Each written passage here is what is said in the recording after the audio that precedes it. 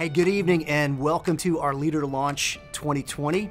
Uh, we're glad to have you guys this evening on probably what for many of you is a very busy night. So thanks for being with us.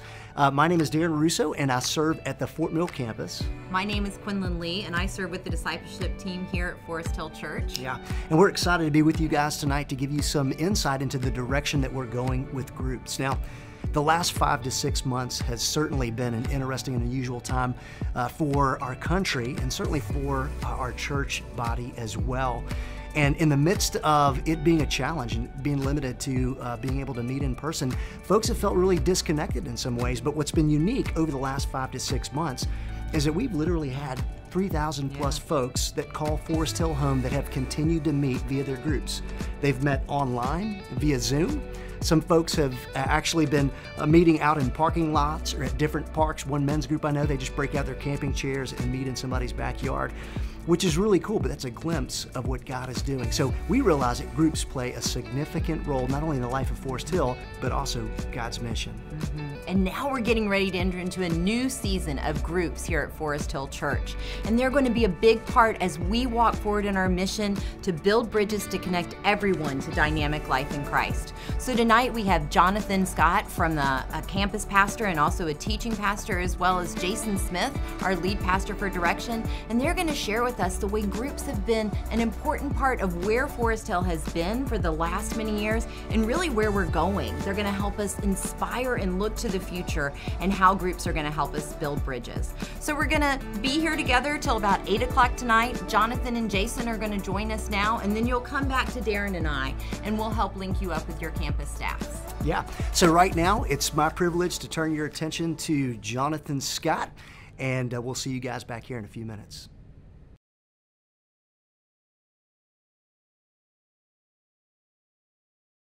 Well, and I actually came to Forest Hill after life groups got started, but that was actually one of the most exciting things about the attraction for me to Forest Hill was on their focus on life groups. Um, it really was a part of the vision of David Chadwick in that particular era, uh, era. And what was said was is that he believed that a church didn't need to be a place where people sit in rows, but in circles.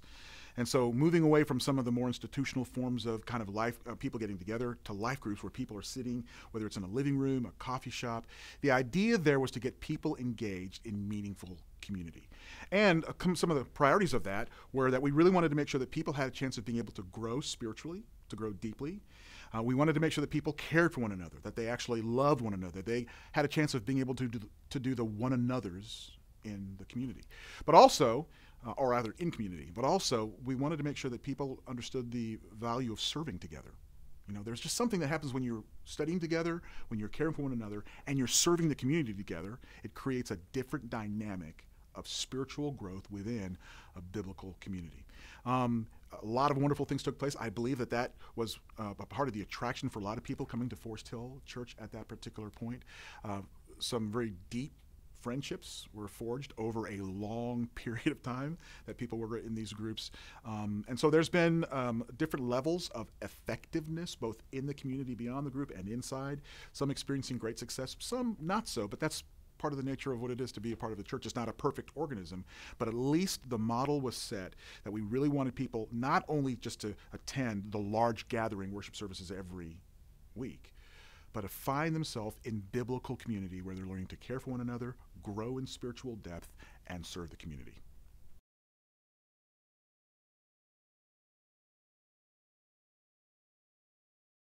Okay, um, so what I think is good, uh, as we mentioned before, is the sense of community. Um, my late wife and I, when we got to Forest Hill, we started a life group probably about six months after we got into it, and we had a life group for six years you know, and a, a, variety of different people came in and out. But it was really neat um, to be a part of the church and being able to grow with people over that long period of time where there were some really deep friendships. I've known groups that were together for 10, 15 years, you know, a long period of time. So the continuity of relationships, I think, has been really good.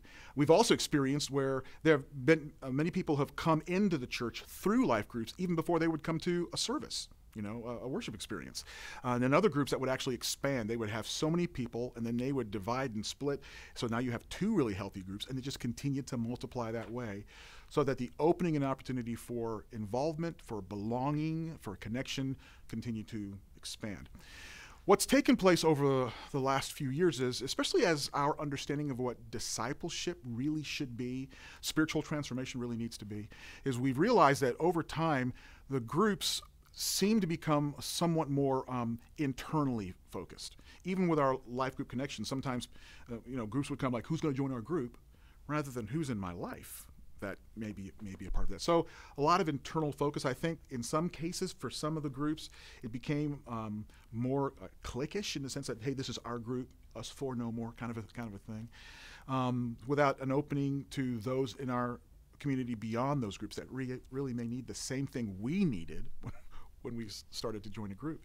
And also, I think um, some of the, the biblical foundations um, that kind of got be, be, became diminished somewhat as people uh, maybe studied a variety of different things, and we may have left just the simple foundational mooring of okay, what does God say, and how do we interact with Scripture ourselves? And so those are some of the things, in addition to just some of the natural dynamics of what happens with people that spend time together and you're not exactly sure how to be able to um, care properly or deal with some of the dysfunctions that can come from people who are coming from a variety of different places. It's not a perfect or, it's not a perfect uh, arrangement, but it's not intended to be. It's intended to be a place where people can learn how to love, but also how to be able to grow with one another. And so I would say, especially in light of kind of where we want to be able to head, and we'll talk about that in a second, how do we want to be poised in a way that reaches the people who are in places of division? Right now, we understand in our culture there's a lot of um, division over creed, over color, over ethnicity, over political parties, over denominationalism, over translations of just all kinds of different um, different divisions, and we want to be the kind of people who build bridges to people who aren't here. You know, uh, we definitely want to make, make, make sure that this is a place where those who are already committed continue, can continue to grow. The essence of the Christian mission is not simply just a concern for our personal growth, but the growth of people who aren't here yet. And so we want to be a place that is not just concerned about who comes through the door, but those who aren't even looking at the at the building, but those people that we have regular relationships with, that we're in connection with, in some um, maybe more casual but still significant ways, and to be looking for how can our life, how can our church have an impact on those who are out there. Though they may not for a while, if ever, come in here, how can we be effective out there? And we believe that it's more effective to do that in that environment, in the neighborhood, in the community, rather than asking people to come to the building or the, the, the once a week environment.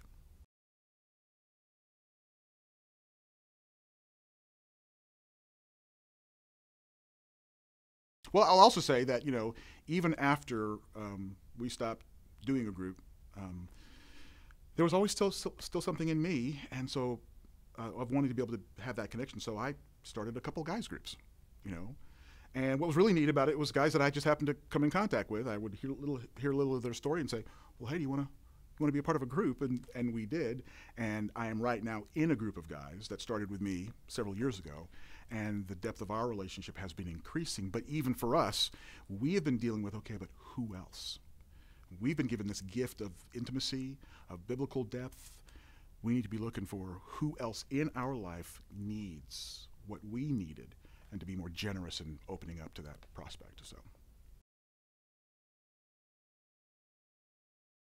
So excitement is an interesting word because excitement also may speak of where are you a little bit nervous, you know, because excitement is about also extending beyond our comfort zone. What excites me about where we're going as bridge builders is being intentional in looking beyond ourselves to the people we cross paths with every day. One of the challenges for um, for this church, for its mission before the end of the year, is to have a kingdom conversation with somebody before the end of the year that creates a certain intentionality, you know. But here's the thing: once you have that kingdom kingdom conversation, and there seems to be openness, where do they go next, right?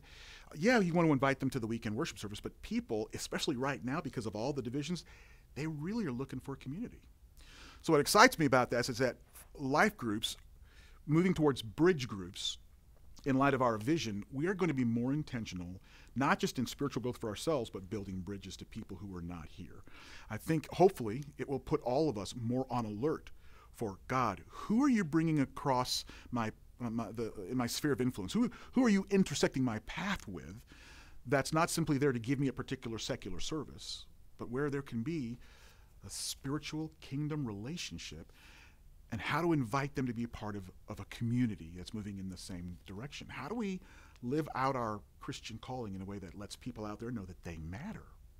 And not just because we want their attendance in a service, but we want to be a part of walking alongside. We begin the process of trying to um, eliminate, bring down the barriers that keep people separate, and find our commonality, our purpose, our identity together in the presence of Christ, which is what I believe uh, bridge groups. Still going to be even more biblically focused. Um, we still want people to be able to care deeply for one another, but the other aspect that's different is that now pe- the groups will be more intentionally focused on who can we reach, who can we include. And I hope that people will think from the perspective of what you were like when you were excluded, what you were like when you didn't have Christ. And now that you're a part of that, there should be a hungering and a longing to see that experienced by other folks who were who are where we were. So what excites me is how the church will grow intentionally as people position themselves intentionally both within their group but their but also their personal life. The people that live right next door to you, people in the next cubicle, the people you do groceries with, you know, that as God opens those doors that we're praying more intentionally about that sensitivity and crossing those barriers, those lines, to be able just to even have a, a conversation of, a, of friendship and to invite people. Um, this is many years ago in, in, another church. I remember in one particular group there was a, uh, a woman who wanted to join this discipleship group, and she wasn't a Christian. And she called us and said, Hey, I'm not a Christian. Is it okay if I join this discipleship group? And we were like, Holy smokes, what better environment for her to learn about what it means to follow Christ than that? There was that kind of interest, and she, she became a part of the group, and it enriched both her life and the group's life as well. The beauty of being able to be in a room with people who are not at your same spiritual level, for me, even people who aren't even Christians yet, there's an excitement that enables me to appreciate the depth of my faith, even as I'm sharing the truth and the love. Actually, that's a mutual kind of a thing. We're, it's, we're both sharing with Christ as the main entree, if you will, that He is nourishing all of us as we seek to pursue and follow Him and love one another as He has loved us.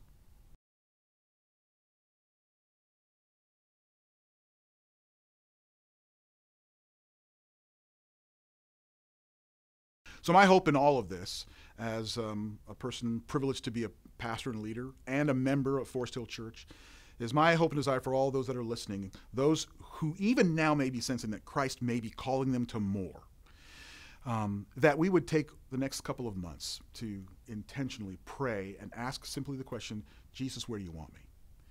How do you want me to be even more effective as your partner in kingdom ministry?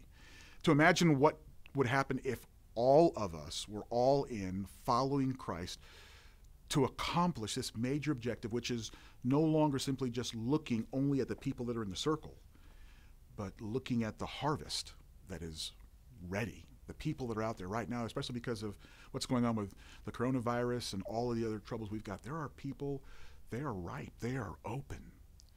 And we can no longer afford to just simply look at what's going on in our body, but in the world where um, these bridge groups really will become more intentional in building bridges that will connect people to dynamic life. The kind of life that we found, the kind of life that we're continuing to explore. One of the things that we can also guarantee is that uh, one of the things, again, that attracted me to Forest Hill was their commitment to leadership development. We're going to make sure that those who decide to step in and say, we want to be a part of what God is doing through this mission and vision, um, we want to make sure that they are equipped to be able to succeed. We want people to succeed, and so that is a that is a given. That's a guarantee of us being able to do that. And and for people to understand, this is not simply getting people to uh, be recruited to Forest Hills mission and vision. It's more than that. We believe that the mission and vision reflects the Great Commission. It reflects the Great Commandment. It reflects the purpose and the passion that Jesus has. That's why it's important. Pray. Ask Christ to reveal to you and to your heart what He is calling you to do.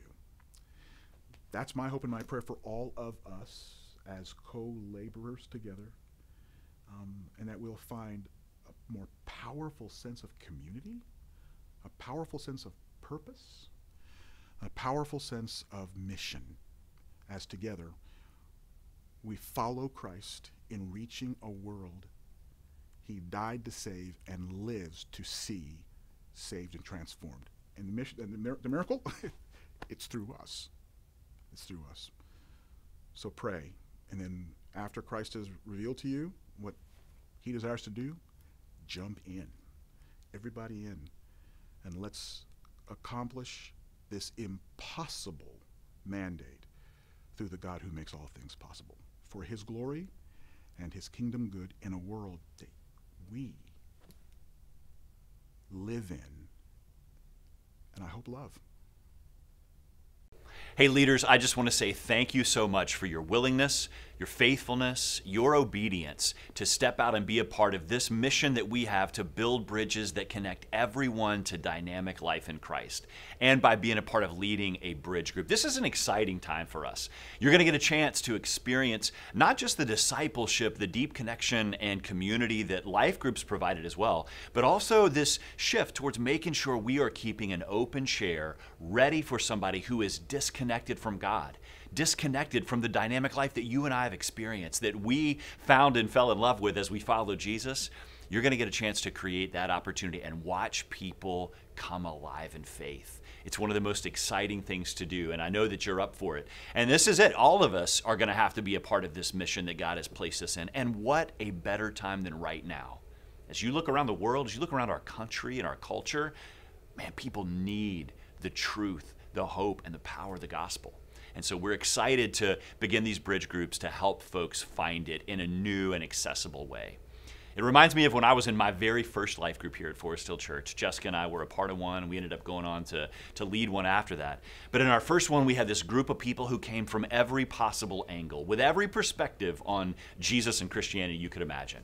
From homeschool and private school to Sunday school to those who were actually like Amy and Eric, some friends of mine, who were agnostics. Um, Eric actually was an atheist. He was doing his fellowship here in Charlotte as an orthopedic surgeon. And over the course of a year, we got to walk with and watch Eric wake up to the truth of God's love in Christ.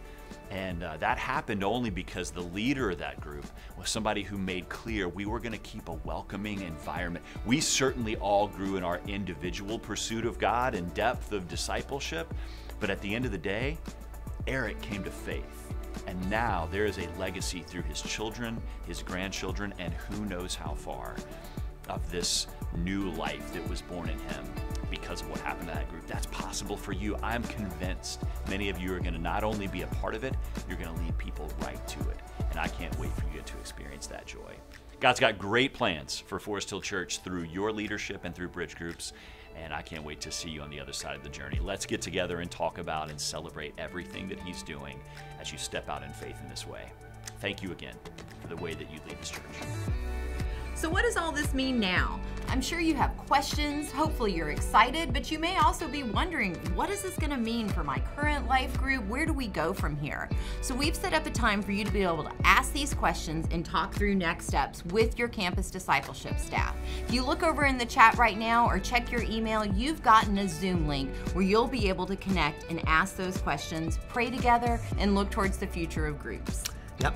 So, listen, we want to thank uh, Jonathan and uh, Jason for being a part of tonight. It certainly has been fun just getting a chance to connect great. with you. And uh, but certainly want to make sure that you guys know that we appreciate your leadership. It's your leadership that makes a difference in these groups as we continue to move forward with bridge groups. What I want to conclude with is simply a passage out of 2 Corinthians that reiterates the significance of how God uses you in your role to connect people to dynamic life in Christ. Paul writes this Therefore, if anyone is in Christ, he is a new creation. The old has passed away, behold, the new has come. All this is from God, who through Christ reconciled us to himself and gave us the ministry of reconciliation. That is, in Christ, God was reconciling the world to himself, not counting their sins against them, and entrusting to us the message of reconciliation. Therefore, we are ambassadors for Christ, God making his appeal through us. We implore you on behalf of Christ to be reconciled to God. Thanks for joining us this evening. And again, make sure that you click the link below to get you to uh, your right chat room. Thanks. Have a good night.